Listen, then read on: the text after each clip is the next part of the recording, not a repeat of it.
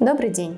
Меня зовут Грибанова Евгения Викторовна. Я действующий третейский судья Краснодарского края, магистр права, сертифицированный бизнес-тренер и бизнес-наставник для молодых предпринимателей. Также я являюсь общественным представителем уполномоченного по правам предпринимателей в Ханты-Мансийском автономном округе Югре. Вот уже более 15 лет я помогаю людям добиваться справедливости, отстаиваю их права и интересы в суде. В моей практике более 200 выигранных дел, в том числе это дела о разводе, алиментные обязательства, раздел общенажитого имущества и многие другие дела. Тема моего курса – письма письменные доказательства в суде, оригиналы, дубликаты, копии. Давайте с вами поговорим об актуальности темы. В настоящее время бумажные доказательства в суде имеют а, наивысшую силу. Все больше доказательств прилагается именно а, на бумаге, нежели в электронном виде. Между тем, а, бумага, как мы все знаем, она может потеряться, может выцвести, да, ну и потерять свои определенные свойства. Как правило, при предъявлении искового заявления необходимо именно бумажные доказательства, доказательства, которые будут правильно удостоверены, либо подписью руководителя, печатью организации, ну или заверенные физическим лицом, если истец является физическое лицо. Однако а, бывают моменты, когда в ходе рассмотрения дела для установления определенного доказательства,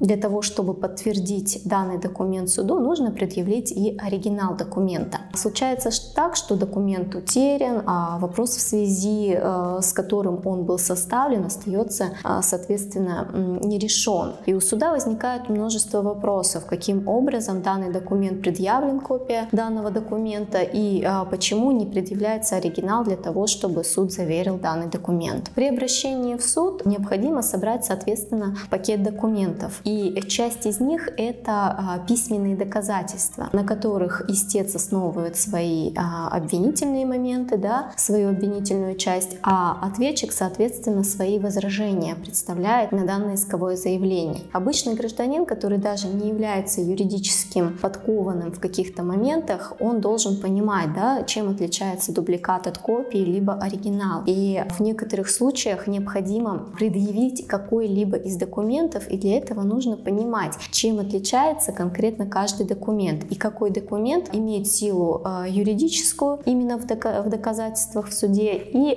какой необходимо предъявить для суда. К сожалению, каждый из нас не застрахован от похода в суд. И в любой момент э, могут пригласить либо в качестве свидетеля, либо в качестве ответчика, либо в ином случае бывают ситуации, когда и каждый из нас может обратиться в суд для защиты своих прав и интересов. И для того, чтобы обратиться в суд, необходимо собрать соответствующий пакет документов. И тут встает вопрос, каким образом, э, что делать, если, допустим, оригинал документа утерян, стоит ли обращаться в суд, а, будет ли ваша доказательственная база действительны для суда и вынесет ли суд удовлетворяющее вас решение. На все эти вопросы вы можете найти а, на моем авторском курсе. Я с вами не прощаюсь и жду вас на первом уроке.